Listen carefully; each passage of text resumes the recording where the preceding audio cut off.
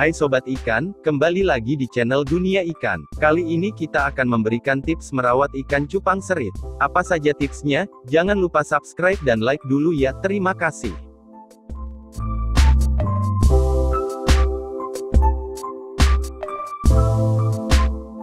Cara pemeliharaan cupang sangat penting Anda perhatikan, karena bisa mempengaruhi tingkat kesehatannya.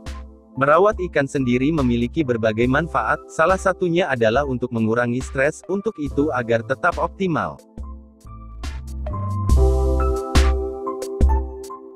Berikut tips merawat ikan cupang seri termudah.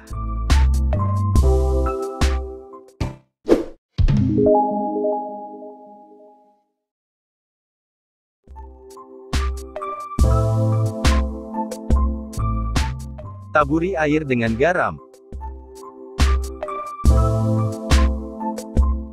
Garam yang dapat digunakan untuk menaburinya bukan untuk masak, namun jenis khusus.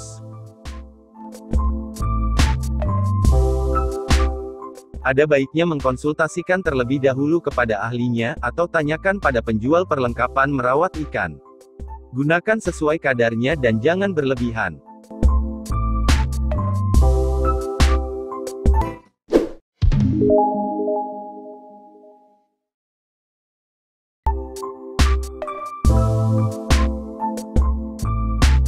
Berikan ikan cupang makanan bergizi tinggi.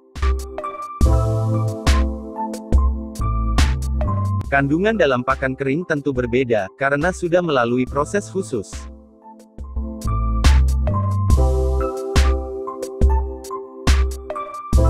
Sebaiknya beri pakan hidup karena nutrisinya masih bagus, meskipun begitu Anda juga tetap harus mengetahui takaran yang tepat karena jika siswa terlalu banyak makan beresiko mengendap.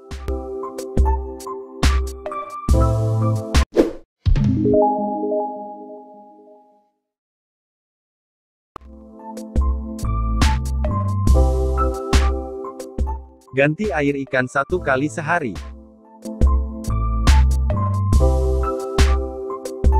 Air bersih dapat membuat ikan tetap sehat, dan siripnya bagus. Jika ingin mengubah wadahnya maka lakukan dengan hati-hati.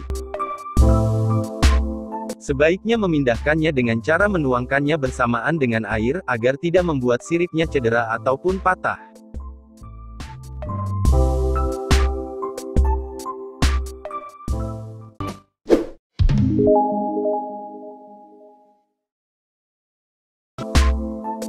Beri daun ketapang kering sebagai antibiotik alami.